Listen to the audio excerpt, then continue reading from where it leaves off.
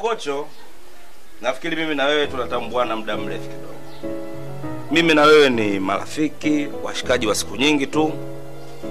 Tumecheza pamoja, tumekuwa pamoja, yani tu, tu, kimwonekano tukiangaliwa ni, ni watu ambao tuko sawa, lakini tukirudi katika heshima, mimi ni mkweo, kwa sababu tayari unaishi na mwanetu na mwanetu umemchukua wewe kipindi kile yuko darasa la saba eh, umempa mimba, lakini kwa sababu ya ushikaji.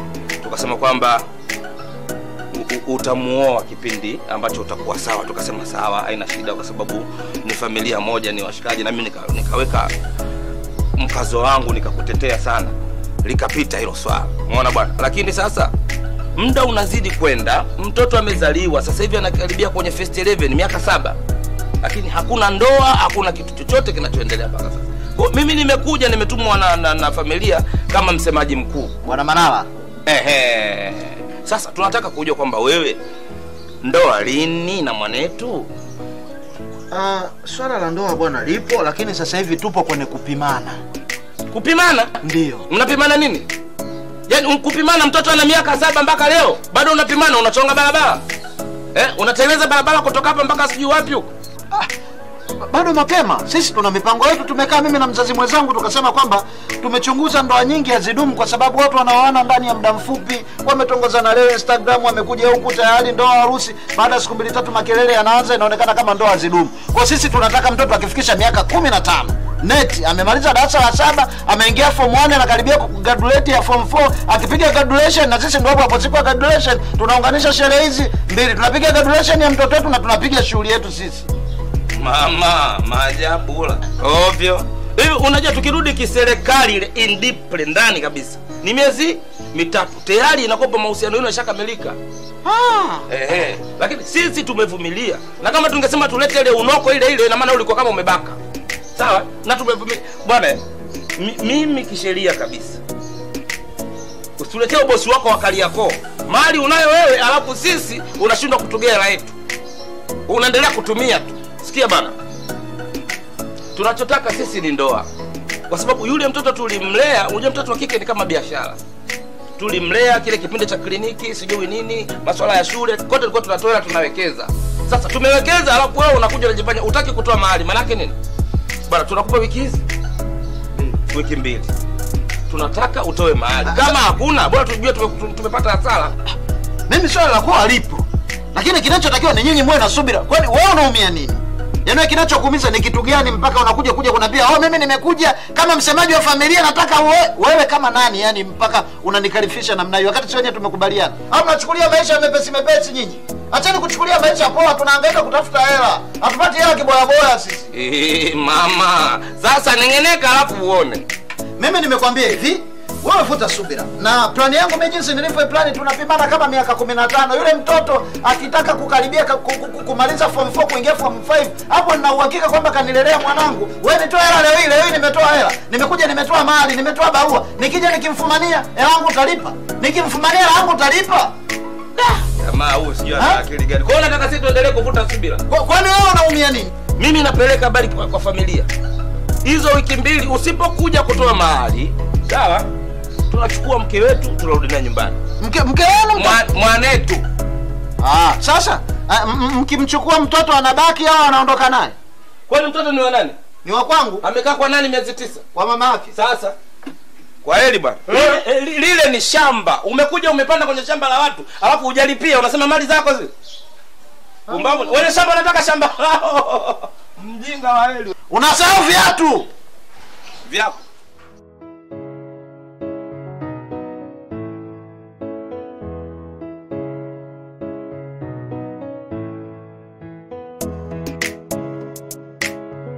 na kama mnapangana pangana. Ndo mipango yenu si ndio?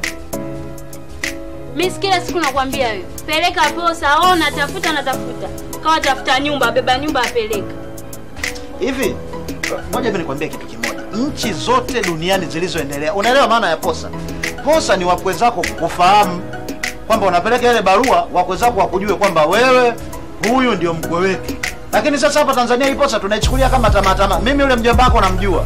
Mimi nimecheza naye yule si umeshanielewa tumecheza wote udogoni tumecheza wote mpira tumecheza wote draft.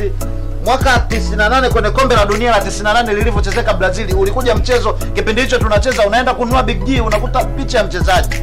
Kina Mwanko Kanu, kina nani JJ Okocha, si umeshanielewa, kina Kafu, kina Chris, nani Chris Ronaldo Dilima, si unaelewa vizuri. Mimi nimecheza naye mjomba wako, tumenyang'anyana madaftari. Pale, kuna kuna hata mmoja asionijua, kaka yako yule sijui mama yako sijui nani nani, familia nzima mimi nanijua. Leo wakikaa wanasema oh, leta barua tu kutambua, Wanitambue nini? Wanataka kunitambua nini mimi? Ina maana amnijui? Amnijui mimi huko kwenu? Wasete habari zao za kishamba, mambo ya kishamba wasiletee mimi. Mimi mwenyewe boni hii hii a long time. Huyo mjomba huyo alokuja hapo kukuchamba wewe, alianza kunichamba mimi ndo akaja kwako.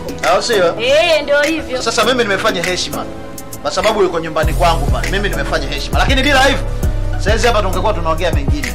Wao waambiwa siletee michongo michongo yao hiyo ya kishamba shamba hiyo.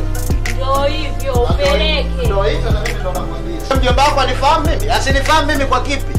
Kipi asichokijua kwangu? Tumecheza sana, kulikuwa kuna bwawa fulani, tunaenda kuoga kipindi hicho, wadogo wazazi wanasema msioge, mtapata kichocho. Tukapata mpaka kichocho kwenye hilo bwawa, tunaoga katika maji ambayo hayatembei. Leo hii anasema anifahamu. Anifahamu nini? Kashawahi kufumaniwa yule shule. Shule kipindi hicho demu wake wa kwanza shule kwenye maua. Anifahamu nini mimi?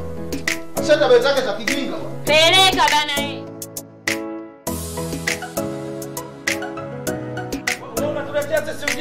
unampeleka wapi mtoto? Unapeleka wapi mtoto? Unapeleka wapi wewe wa? Wewe mtoto wa? Tunaondoka naye. Unaondoka vipi wakati vitu tumekaa tunazungumza hapa tuelewane, unachukua familia yangu unaipeleka wapi? Nakwambiaje? Wewe kit- kitamaduni na kisheria hujulikani.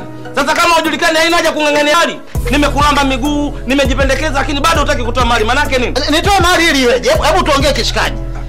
Wewe mwanangu unijui mimi? Wewe. Wewe unijui mimi? Kishikaji nakujua ile mambo vipi msala mwanangu inakuaje? Ah, hiyo nakujua. Sasa kitu gani unachojifanya wewe familia haikufahamu lete barua acha tamaa maisha magumu haya. Sheria unatakiwa uzifuatishe. Yaani unaniruka kwa sababu ya vitamaa vitu vidogo mambo haya. Wewe unijui tumekuwa wote tumesoma wote tumecheza wote mtaani. Familia na nani asionijua mimi? Manake kila siku ukija wewe familia yetu haikujui. Wewe unijui mimi hapa? Unijui Unijui kokocho, unijui mimi? Sasa wewe kwani umjui ukololo? Kwani hata kuleta tamaa mwanangu mwenyewe kijana? Mahali na barua hujatoa. Beba begi tuondoke. Wewe unijui mimi mwanangu? Beba begi Unanikana kwa ajili ya hela? Nakwambiaje? Achia ngazi bibi mchuma unaondoka huo. Bora nikae mimi mwanangu kwa ajili ya hela? Achana na mimi.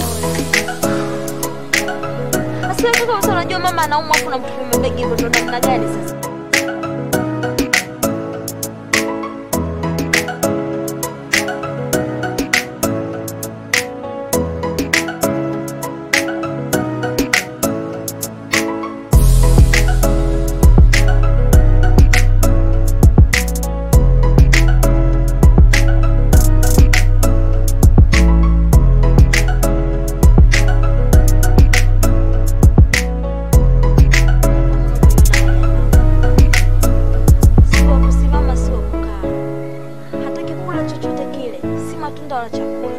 Unapomwona hali yake ndio hivi. Hakuna hata mtu mmoja ambaye ananisaidia. Niko mimi peke yangu kama unavyoona. Eh. Ina maana mimi nilivyokuwa namtumia tumia zile alikuwa hapa atakalo fine.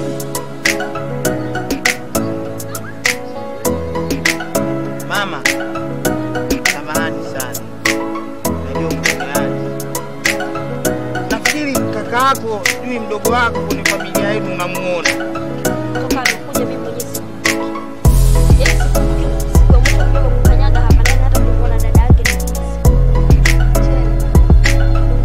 Katika hili mama, mimi siwezi kuvumilia. Sijui unanielewa? Yaani hizi jela zenu zote, hizi jela zenu zikisegelea, sijui keko, mimi naona kama daraivu tu. mishakaa jela ngumu, Sasa huyu mwache, atanielewa vizuri. Sasa unaenda wapi? Uko ndani. Sasa baada tujue tunamsaidiaje mama unasema uko ndani.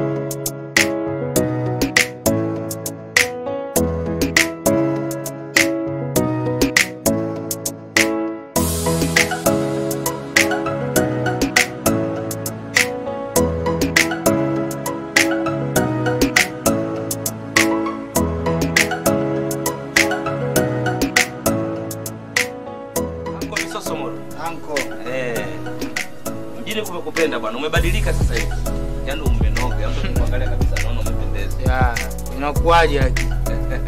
Ah, mjini kumekupenda. Kiukweli kabisa, kwa mtazamo tu mtu akikuangalia kabisa unaonekana kabisa umenawili. Eh, umetoka ile ile inapotakiwa. Alafu mimi sikuwa mjini yangu. Mjini mimi nimetoka kitambo sana, yani long time. Ulikuwa South Africa? No. Mimi niende South. Mimi sio kuishi South wewe. Mimi nilikuwa Denmark. Denmark. Yeah. Copenhagen. We. Da. Basi huko Denmark kumekupenda zaidi. Maanake Denmark wamefanikiwa kutoboa matundu mengi sana. Una matundu sasa hivi. Unamaanisha nini? Yaani huku umetoboa huku, huku umetoboa, umetoboa. Sasa sijui kama kuna sehemu nyingine nazo wamekutoboa. Kwa hiyo wewe unaona matundu yani wewe mwenyewe akili yako unavyokutuma unaona matundu. Hizi swaga wewe. Nyesi mmezoea huku kibongo bongo mnaishi tu kama wakivunja mueleweki. Hizi swaga za huku. Wewe vipi wewe? Alafu unaona kama ushaanza kunizoea vile yani. Unavyoongea kama unanichukulia kama mtu wa kawaida hivi. Sikuzoei baba wewe. Kwani nikuzoee mimi? Eh, na ulikuwa mbali na mimi. Sasa nitakuzoea mimi baba? Au unakuja na bunduki? Sio bunduki tu, mimi niko furu. Magazine. Inakuwaje kwa maisha yako? Mimi bwana hapa niseme tu kwamba tunashukuru sana kwa ujio. Eh, mama yako anaumwa sana, kila siku tunaendelea kumwomba Mungu kujaribu kuona anapata nafuu kwa namna moja au. Na hela ambazo unatuma ndizo zinazotusaidia sisi. Eh, eh, kwa sababu mara nyingi watu wanatumia sana na maji haya ya nyumba hata kuchemsha pia. Ehe. Na daktari amekushauri anatakiwa mara nyingi sana awe anapata upepo. Wakati tunamchukua tunakodi hapa gari e, taxi tunampeleka moja kwa moja mpaka bichi, tunamweka kule siku nzima anakula na ile miogo ya koko eh, bwana bisi zile popcorn tunampiga kule, akija nipiga panado zake jioni analala ndani. safi ndio. Yaani unaongea ujinga hapo unachekelea yani unajua na bonge la taita. Yaani unaacha kukodi unakodi gari, unataka kumpeleka bi mkubwa hospitali tunampeleka unampeleka kukobiche cha kale koploni. Koploni ndo nini? Si umeenda Sweden wewe? Sio coplon, ni popcorn. Popcorn ni mfumo wa wimbi kubwa la bahari ambao linakuja katika high level. Yaani ukisema kwa Kiswahili pale katikati ya bahari kuna kitu kimoja kinaitwa mkondo wa bahari. Ule mkondo wa bahari sasa tukisema tuupeleke kwenye Kiingereza ndo tunapata neno popcorn. Wewe najua kama ndo mfumo wa bahari unakuja kwa mawimbi. Kwa nini unampeleka kwenye bahari? Koploni sawa ni mawimbi, tena yale mazito yenye rangi ya blue. Naelewa. Mm. Kama boya hivi. Tuko sawa. Wewe unanionyesha meno yako? Yaani unakodi gari, unampeleka bi mkubwa benchi. Ah? Unaacha kumpeleka dispensary akapata hata vidonge nini, unampeleka hivi kule chikilia unakuwa kama bwege yani. Wewe unakuaje mbona ubadilike? Sasa wewe unataka nibadilike nini mimi? Eh? Sino niko hivi hivi. Wewe unajua una akili timamu kweli wewe. Lakini haya unayokuambia yametoka kwa nani? Kwa daktari, ni ushauri wa daktari amesema tufanye hivyo. Na mkamlishe miogo. Wewe sasa kama unazungumza hivyo, basi wewe utampeleka kwa dispensary unakotaka wewe. Hivi yangu wewe unakuaje? Kwa kumwagiliwa. Na sister yuko wapi? Dada yako bwana, kiukweli ameolewa na. Ameolewa mtu mwenye misimamo yake, na mtu mwenye heshima zake, anajua nini maana ya maisha. Huyo bwana anaitwa Bosha Matelefoni. Na taarifa za mgonjwa dada yako anazo. Ila sasa kwa sababu pale nyumbani yuko na mtoto eh, mambo mambo mengi, afu jamani mtu wa bize kwa sababu simu zote unaziona zinazotoka China, Japan, Marekani, Kongo, Kinshasa, zote zinazoingia hapa kwa ajili ya kutoa pin ndo anahusika nazo bwana. Kwa- Yuko very busy 24 hours. Kwa kwa sababu umefika mwanaume mwenzangu, wakisema tuseme tuko wanaume sasa. Tutajaribu kukaa na bwana Bosha tuangalia basi apate hata nafasi ya siku mbili tatu kwa ajili ya kuja kumwona mama. Lakini simu nyingi na uwaga nampigiaga. Uwaga anajibu. Unajua wewe mnafiki sana wewe. Naisha kuelewa, afu taarifa zako zinazo. Sete ujinga wewe. Hako vipi bwana umebadilika hivyo? Yaani ni na uwa. Alafu sisi tayari Hapo umekausha tu. Siwezi kauke. Wewe ushakauka. Siwezi unakuja baba. Ila haina noma. Vile mimi mwenyewe nishakuja mfaita, wezi unakaa na uboya mi nishakuja mi mwenyewe. Au sio? Yaani umemtoa sister pale umempeleka kwa mtu mwingine. Haina noma, mimi nitalishughulikia. Nitakomaa nalo mimi mwenyewe. We kaa tu na uboya wako. Ongea bwana. Unaona kama bwege fulani hivi.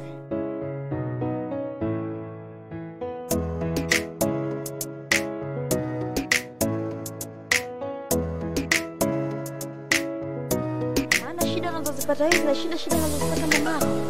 Hebu tazama mamako, mtu wa kulala sio wa kula, sio wa kukaa.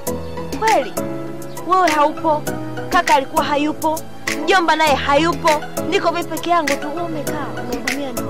kweli? Mdogo wangu mimi sio kama napenda, yaani sio kama napenda mimi mwenyewe, yani naumia, lakini nitafanya. Ndio nishaolewa, ndio nishakaa pale tena, mwanaume gupu hataki utoke, amna kumwangalia mama. Ni sio kama napenda mimi kukaa nyumbani kutokuja huku, yaani naumia mwenyewe, roho inaniuma, yani roho inaniuma, na Tatizo bwana kweli hata wewe mwenyewe ukiangalia kweli ah, leo mwenyewe nimekuja kuwajulia hali.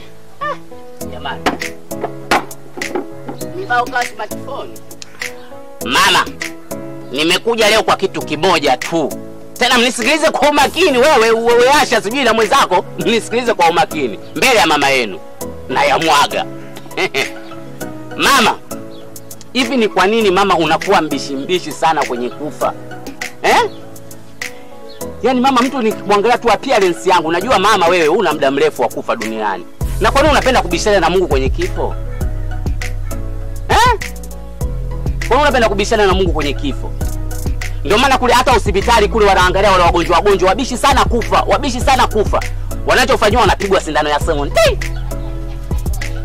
Sasa wewe namba yako imeisha, rudisha namba, wengine nao waje kuishi duniani. Umeona hapo? Sasa wewe unang'ang'ania ng'ang'ania dunia yako kwako hii. Alafu nina wasiwasi mama yenu alikuwa kicheche. Shemeji, shemeji, angalia mdomo wako na kauli unazozitoa. Shemeji, nakuheshimu, naomba utunze heshima yako. Kumbuka huyu ni mama yangu, na haya maneno nayo sio ni kumdhalilisha mama yangu eh? Umetunyesia dada yetu, lakini bado haitoshi, unakuja mpaka nyumbani. Ndio maana nani yule hata msanii nani yule nani yule ameimba yule nani simpati vizuri. Aliimba leo nimekuja ku- ku- ku- kwa amani adui yangu, sina kisu wala panga mfukoni mwangu. Sasa mimi leo nimekuja tu kwa hali ya kawaida. Sawa? Mama yenu nilivyomwangaa ndio maana nikasemaje huyu mama yenu nyinyi watoto nyinyi kama kuwapata kawapata guest. So ndoa kabisa halali. I swear to God to me. Wewe mtu anang'ang'ania kufa afi. Beba muondoke, beba Wewe mama tulia, wewe beba uondoke hiyo vipi? beba uchafu wako muondoke. we usinite uchafu mebi mkubwa Hey, wewe hebu njoo hapa